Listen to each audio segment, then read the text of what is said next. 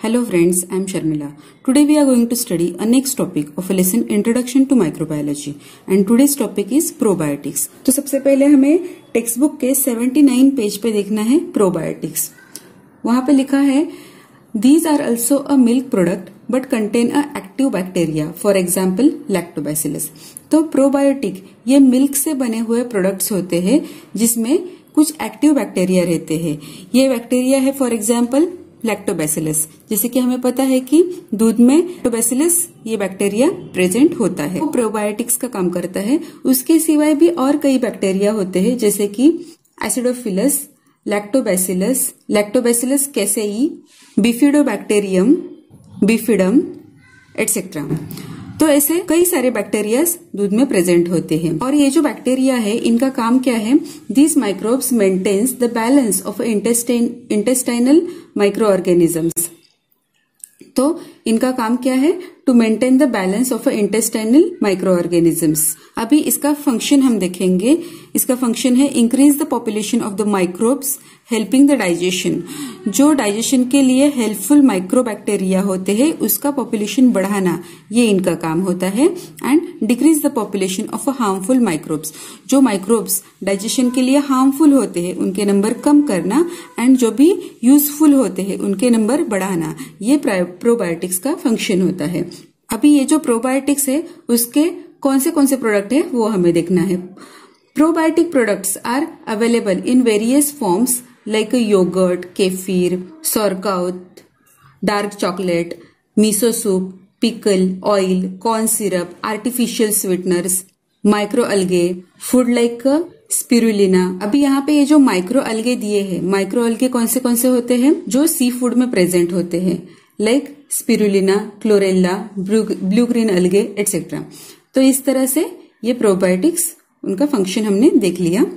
अभी यहाँ पे एक क्वेश्चन दिया गया है why the probiotics have developed much importance in recent day तो इसका आंसर है, जो प्रोबायोटिक्स है, ये क्या करते हैं? These products forms the colonies of a useful microbes in the alimentary canal and control the microbes and their metabolic activities तो ये कॉलोनीज फॉर्म करने का कॉलोनीज यानी कि उनका नंबर बढ़ाने का काम करते हैं।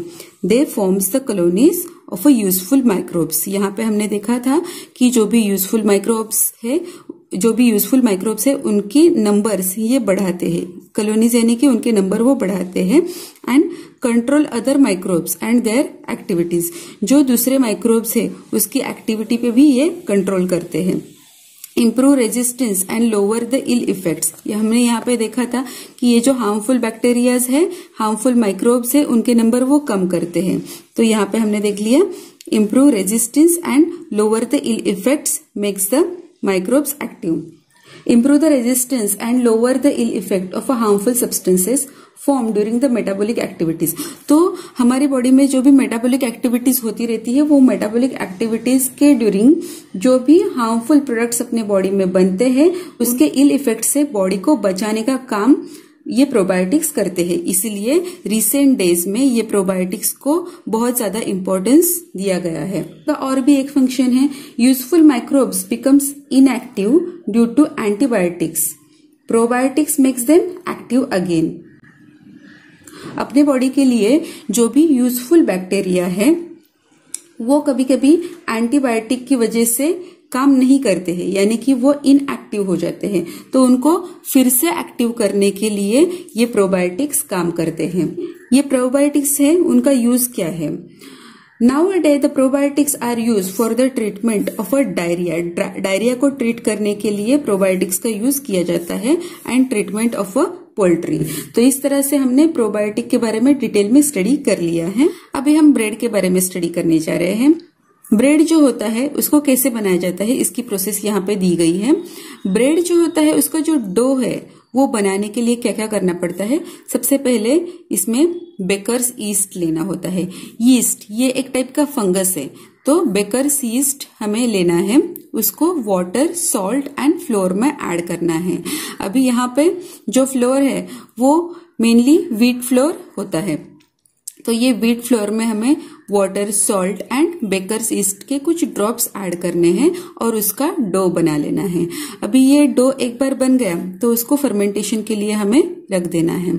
ये अभी, ये डो जब भी फर्मेंटेशन की प्रोसेस कंप्लीट होती है तो क्या होता है कि जो वेट फ्लोर है, उसके अंदर जो शुगर है, वो शुगर का conversion carbon dioxide and ethanol में हो जाता है। तो ये कार्बन डाइऑक्साइड एंड इथेनॉल में उसका कन्वर्जन हो जाने के बाद क्या होता है कि ये जो कार्बन डाइऑक्साइड है, ये ये डो से इवॉल्व आउट होने होने की कोशिश करेगा। और उसकी वजह से क्या होता है कि ये जो डो है, वो राइज होता है, यानी कि फूलता है। एंड वो जब भी हम बेक करते हैं तो वो स्पॉन्जी हो जाता है। तो फर्मेंटेशन की प्रोसेस से क्या क्या होता है? कार्बन डाइऑक्साइड एंड इथेनॉल बन जाता है। किसका? शुगर का। जो शुगर वीट वीट फ्लोर में प्रेजेंट थी। एंड ये कार्बन डाइऑक्साइड की वजह से वो डो राइज होता है एंड जब भी हम उसको बेक करते हैं तो वो स्पॉन्जी होता है। अभी हमें टेक्स्ट बुक में देखना है। Different types of breads are produced from a flour of a cereals मैंने यहाँ पे वीट कहा था।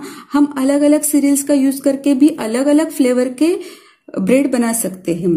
Dough is formed by a mixture of a bakers yeast यहाँ पे यीस्ट जो है, ये एक फंगस है। यहाँ पे एक स्पेशल टाइप का फंगस यूज़ किया है, जिसका नाम दिया है सेक्रोमाइसिस सेरेविसे वही हमें यूज़ करना है।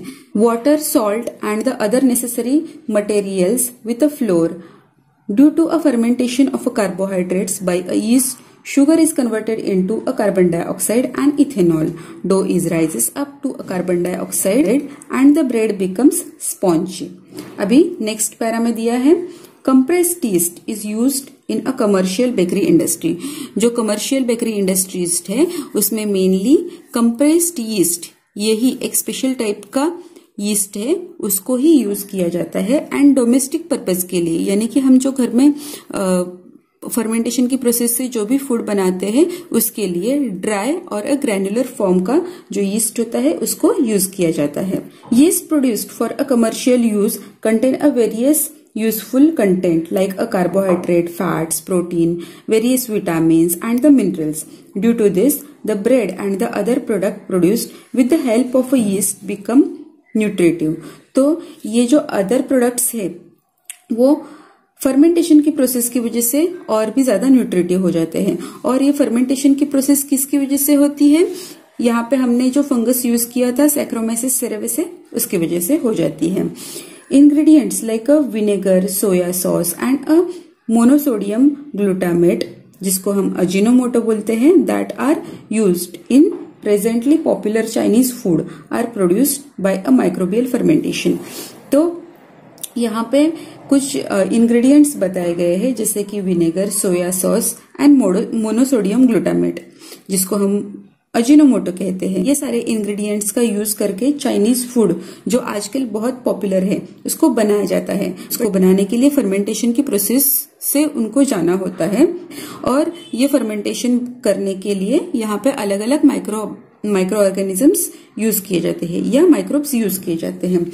तो सबसे पहले हमें देखना है विनेगर विनेगर को कैसे प्रोड्यूस किया जाता है? विनेगर जो होता है, उसका टेस्ट जो है, वो सोर टेस्ट होता है। ये सोर टेस्ट की वजह से ही उसको हम फ़ूड में यूज़ करते हैं। और इसका फ़ंक्शन क्या होता है? Preservation of a food preservation of a food यानी कि बहुत सारे जो प्रोडक्ट्स है फ़ूड प्रोडक्ट्स होते हैं, उनको प्रिजर्व करने के लिए एज अ प्रिजर्वेटिव करके हम विनेगर का इस्तेमाल कर सकते हैं। जैसे कि पिकल सॉस केचप चटनीज इसमें विनेगर प्रिजर्वेटिव का काम करता है। तो इसका फ़ंक्शन है प्रिजर्वेशन ऑफ़ अ फ़ूड और इसमें मेनली क्या कंटेंट होते हैं? एसेटिक एसिड जिसका फॉर्मूला है, जिसका केमिकल फॉर्मूला है C H three C O O H ये सी ओ ओ एच ये एसिड ग्रुप है और इसको सी एच थ्री अटैच्ड है। तो ये हो गया acetic acid four percent acetic acid यानी कि विनेगर यहाँ पे हमें देखना है ethanol and alcohol Ethanol and alcohol is obtained by a fermentation of a carbon compound like a fruit juices, maple syrup, sugar, sugar molasses, starch, starch of the roots with the help of the yeast Saccharomyces cerevisiae. तो यहाँ पे हम देख सकते हैं ये जो ethanol है ये एक टाइप का अल्कोहल है उसको हमें कैसे मिलाना होता है कार्बन कंपाउंड से अभी यहाँ पे हमने जो कार्बन कंपाउंड यूज़ किए हैं, वो कार्बन कंपाउंड में हम क्या क्या ले सकते हैं? जैसे कि फ्रूट जूसेस फ्रूट जूसेस ले सकते हैं maple syrup sugar molasses etcetera. और उनका हमें फर्मेंटेशन करना होता है। फर्मेंटेशन के लिए हमें यहाँ पे यीस्ट यूज़ करना है। यीस्ट कौन सा? सैक्रोमाइसिस सेरेवेसे इसको हमने, मैंने शॉर्ट फॉर्म में यहाँ पे लिख लिया है। एस सी यानी कि सैक्रोमाइसिस सेरेवेसे तो ये जो यीस्ट है, उसका ये कार्बन कंपाउंड के ऊपर रिएक्शन होने के बाद उसका कन्वर्जन होता है इथेनॉल एंड अल्कोहल में। तो यहाँ पे ये जो इथेनॉल बनता है, ये इथेनॉल का रिएक्शन हमें कुछ बैक्टीरियल स्ट्रेन के साथ करना होता है। अभी ये बैक्टीरियल स्ट्रेन कौन सी कौन सी है? ये बैक्टीरियल स्ट्रेन है एसिटोबैक्टर एंड ग्लूकैनोबैक्टर तो ये एसिडोबैक्टर एंड ग्लूकैनोबैक्टर के साथ जब इथेनॉल की रिएक्शन हो जाती है तो माइक्रोबियल डिग्रेडेशन होता है। माइक्रोबियल डिग्रेडेशन यानी कि जो माइक्रोब्स है उसके अंदर उनका सड़ने की प्रोसेस उसमें चालू हो जाती है और उसकी वजह से यहाँ पे एसिटिक एसिड फॉर्म हो जाता है। और यहाँ पे एसिटिक एसिड के साथ और भी कई बाय प्रोडक्ट्स तैयार हो जाते हैं बाय प्रोडक्ट्स फॉर्म हो जाते हैं। बट ये जो एसिटिक एसिड है, उसको हमें सेपरेट करने के लिए एक स्पेशल प्रोसेस के थ्रू जाना होता है। और वो रेयर फैक्शन ये रेयर फैक्शन के प्रोसेस के थ्रू ये एसिटिक एसिड हमें उससे सेपरेट करना होता है। और उसके बाद में ये जो एसिटिक एसिड है, उसको ब्लीच करना होता है। ब्लीच किसके हेल्प से करेंगे हम? Potassium ferrocyanide. ये पोटेशियम फेरोसाइनाइड की हेल्प से ये एसिटिक एसिड को ब्लीच किया जाता है। उसके बाद में पाश्चराइज किया जाता है। पाश्चराइज मीन्स उसको एक थिक कंसिस्टेंसी दी जाती है। सबसे लास्ट में उसमें सल्फ़र डाइऑक्साइड ऐड किया जाता है। ये सल्फ़र डाइऑक्साइड हम बहुत ही कम क्वांटिटी में यहाँ पे यूज़ करेंगे और उसके बाद में हमें यहाँ पे ये विनेगर मिल जाता है। अभी हमें सोया सॉस के बारे में स्टडी करना है। सोया सॉस जो होता है, वो एक फर्मेंटेशन की प्रोसेस के थ्रू बनाया जाता है। सोया सॉस बनाने के लिए क्या क्या इंग्रेडिएंट्स लगते हैं, वो हमें यहाँ पे देखना है। यहाँ पे एस्परजिलस ओराइजे ये एक फंगस है, जिसको हम फर्मेंटेशन के लिए यूज़ करते हैं। तो ये माइक्रोब्स यानी कि ये यीस्ट यीस्ट का नाम है एस्परजिलस ओराइजे को हम फर्मेंटेशन के लिए यूज़ करते हैं। और ये फर्मेंटेशन की प्रोसेस हमें किसके ऊपर करनी होती है? फ्लोर ऑफ़ व्हीट और राइस एंड उसके साथ सोयाबीन भी लेते हैं।